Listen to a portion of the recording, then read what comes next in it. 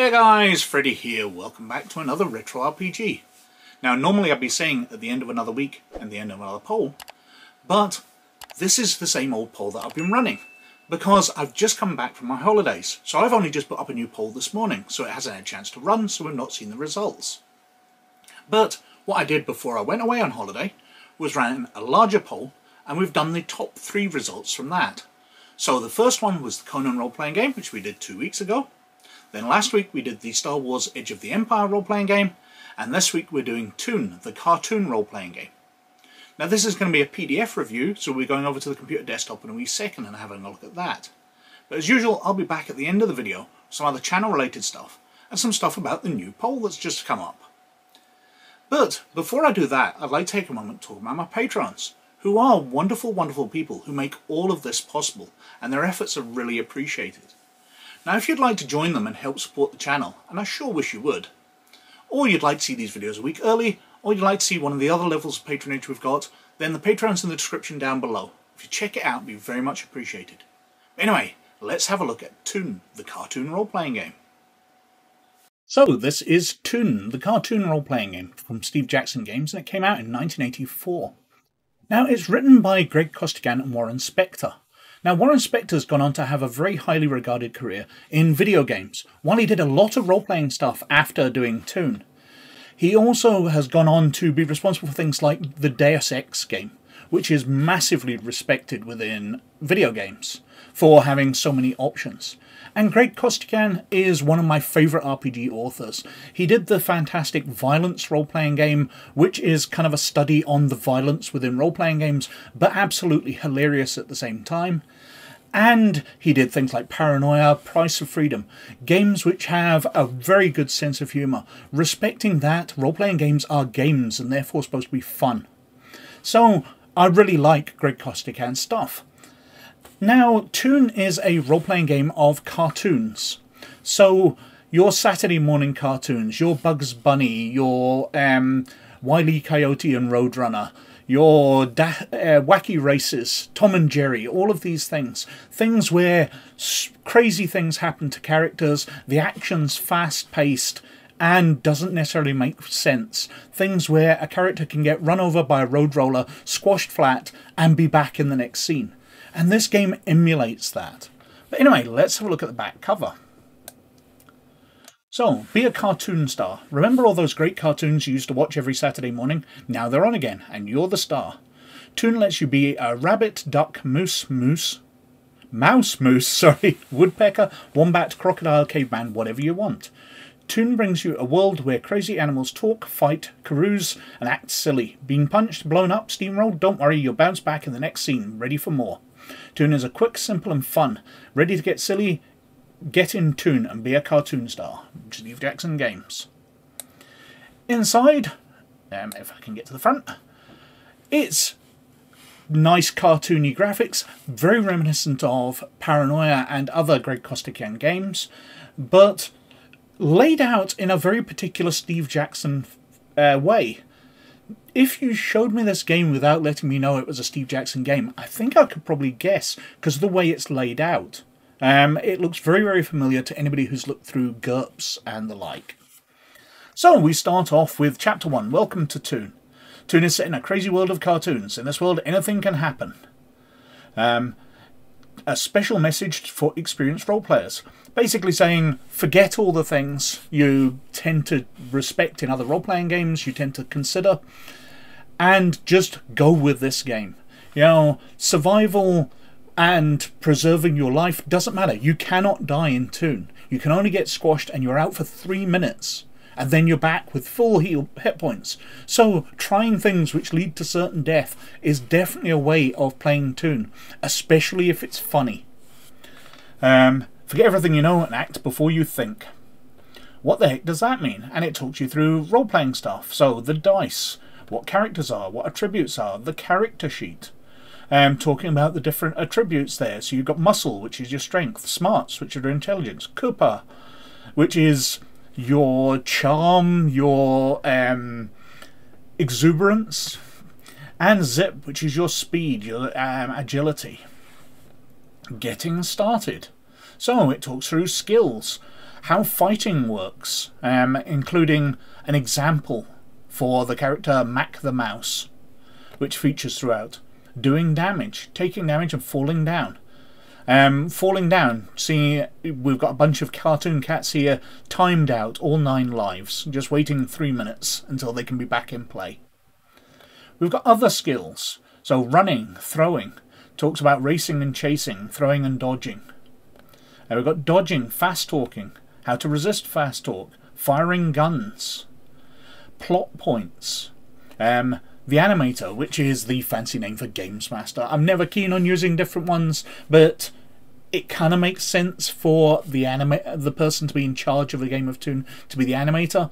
Although I kind of would have liked them to have been a different character. Animator to me is somebody who can get involved in the story from time to time, the way that Stan Lee and Jack Kirby would sometimes show up in their comic strips, the Marvel ones, and you would get a hand sort of appearing in Tiny Toons and that kind of thing. Um, and then we're on to the first adventure. We're on to page 12, and we're into an adventure already, just using what we've already been taught. Now, while there's more to the game to come, this is getting us into using what we've already learned. So, it's the Cartoon Olympics. Basically, the characters are competing in a number of sports, um, and they're trying to win the most, and whoever wins, wins a car. So, we've got um, the plot, opening scene, and first of all, we've got a boxing match. So, we're using the fighting skills. We've got the javelin toss, so we're using the throwing skills. We've got the marathon, so we're using running skills. Then we've got the big finish, which talks about whoever wins gets the car. The loser can try and fast talk them out of it, but whoever drives off in the car will find it falling apart in a cartoon style as bits fall off as they go into the distance. We've got character creation, so creating a character. Now, the different attributes, it talks them through. We've got a list of different species you might want to roll on um, different occupations if you want to go randomly, and we've got beliefs and goals. What motivates the character? Um, how to use beliefs and goals in play. What possessions they might have. You know, whether they might have a big baseball bat they carry in their back pocket. Whatever. Um, then we've got how to do everything. So it talks through the skills. We've got uh, skills and shticks. Shticks are special abilities. So we've got the ordinary skills. Muscle skills, you can break down doors, you can climb, you can fight, you can pick up heavy things, you can throw. Zip skills, so you've got dodge, drive vehicle, fire gun, um, jump, ride, run, swim. We've got smart skills, so hide, spot, hidden, identify dangerous things, read, resist fast talk, see, hear, smell, set or disarm trap, track or cover tracks. Now, Chutzpah skills. So, fast talk, pass detect shoddy goods, sleight of hand, sneak. And then we've got shticks. So we've got things like bag of many things. You've got a pocket or a bag that you can reach into and pull almost anything out of. Unless it doesn't work, because there are rules for that.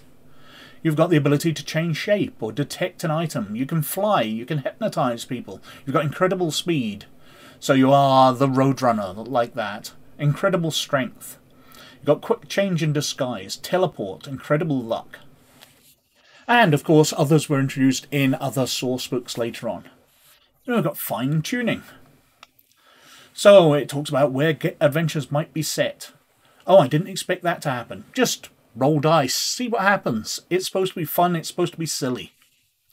Um, illogical logic. So if you can make something make sense, then it works. It doesn't matter if it wouldn't work in real life. This is a cartoon and it's not supposed to work like real life. Um, cause and effect. Um, cartoon coincidences. Boggling. Characters and non-characters. Inanimate objects. So we talk about things here like independent shadows, so shadows which do their own things. Instant fine print on documents, so you've signed a document but then they reveal that there's extra fine print um, sawing, uh, sawing holes or sawing through branches. So when you stood on a branch and you cut it and it hovers there for a moment before dropping. Moving in Toon Time, passing out plot points, different gimmicks. Um, how to become the perfect games master or animator. the final fade out, how to end your stories.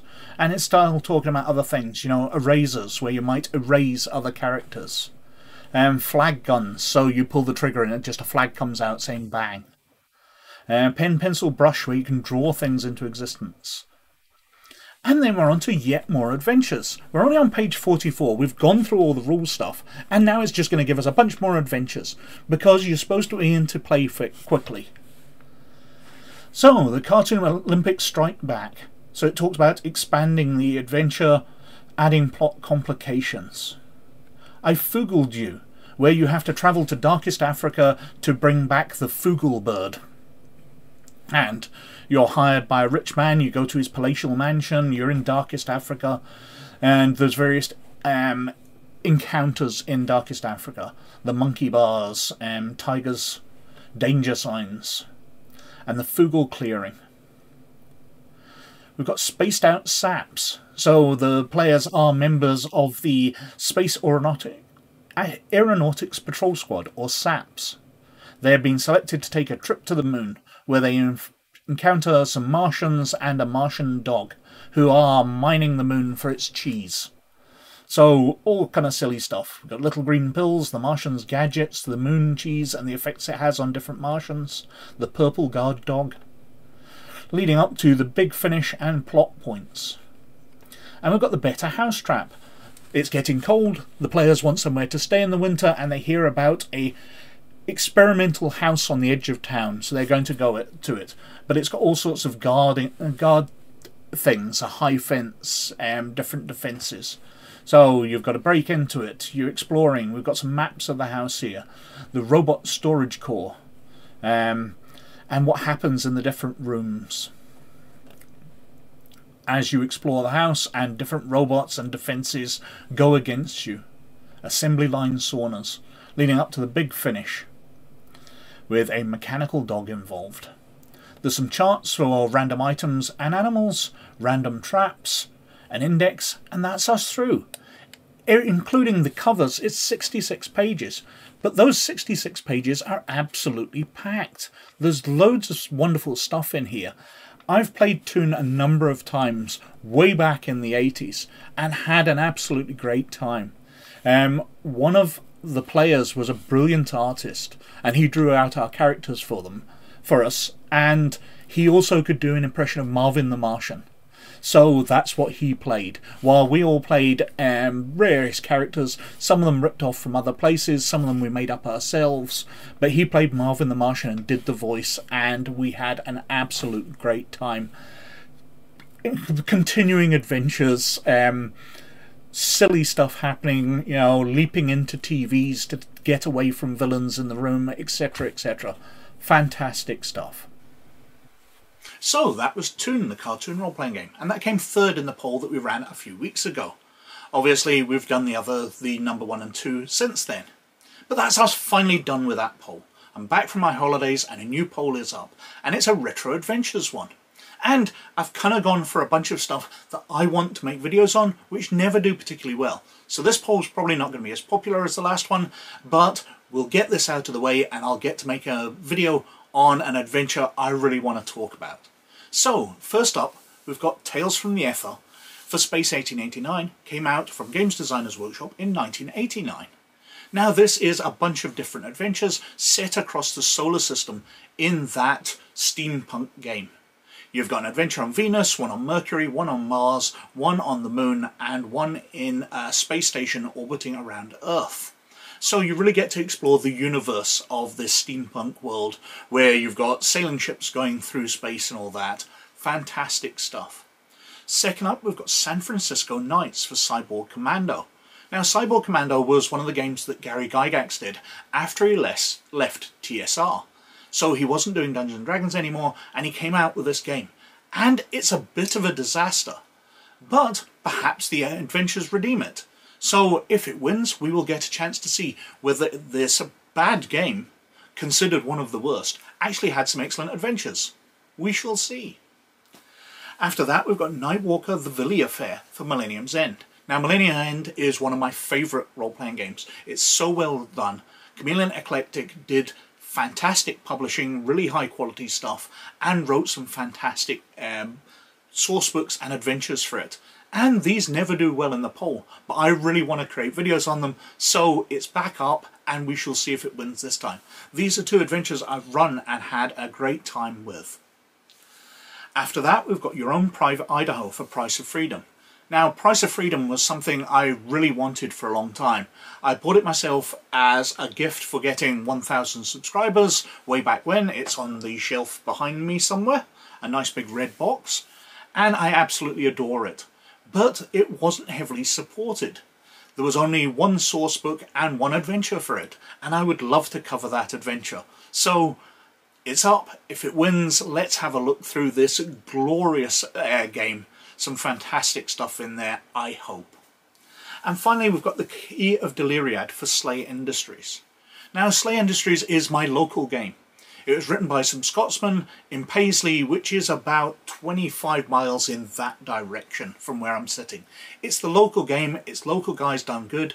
They've moved house since, and now they're in um, Cumnock, I believe, which is about 20 miles in that direction. They've kind of passed me by as they've moved around. But these are local guys, and as that, I really like this game. It has a mindset that I feel is very Scottish, even though it's a sort of cyberpunk sci-fi game. But again, they didn't publish many adventures for it. So it'd be a joy to look through the adventure and see what they saw and the way they saw people playing their game. Anyway, what else have I been up to? Well, I've been putting some new stuff up on DriveThruRPG. I put up the 5th edition compatible version of Legends of the Small Folk, my role-playing game about anthropomorphic mice and hedgehogs and other small creatures adventuring around the human realm. A bit Watership Down, I suppose, but they are actually people and they carry weapons and equipment. It's just that people don't see them as that. So these the 5th edition rules uh, compatible version of that up on DriveThruRPG because I wanted to give it a rule system that more people would understand and perhaps give the game more exposure through that. We shall see. Also, I put up a bunch of monsters for Dungeons & Dragons in the past few weeks, which are basically versions of liches. So, the lich is a wizard who has taken their power and extended it into unlife. But I wondered about the other classes. So I have done versions of virtually every class out of Dungeons & Dragons and made their own undead version. Paladins who have given their faith and given their life over to their gods and had extended lives for that, but lost their personalities in the uh, meantime. Bards who have told stories so epic that they live on with the stories they've told. And as I said, I've done all the different classes, you know, druids which have become staunch defenders of the wilderness and lived on becoming part of nature themselves, etc, etc. I think these were really interested and I was kind of thought they were lacking from Dungeons & Dragons in the past. So I had a lot of fun putting these together. But they're up on DriveThruRPG and of course freely accessible to any patron of Librarian or Laird status and if you want to gain access to the shared Google Drive with all of that on, then the Patreon's in the description down below. Over on RPG Gamer, well obviously I took a break while I was away, but that's me started back up with the Knights of the Old Republic comics. We've got about 10 issues to go before the end, so we're going to go through those. I'll catch up with the other comics that I usually cover, and then we've got more stuff coming up because we've got the Young Jedi Adventures series 25 more episodes of that to cover. Loads and loads of stuff to do for the Star Wars D6 system. If you're interested in that, then check us out over on rpggamer.org. But anyway, as usual, I've been whittering on for way too long, so thank you very much for watching. As always, most of all, you look after yourselves, and I'll catch you later. Bye now.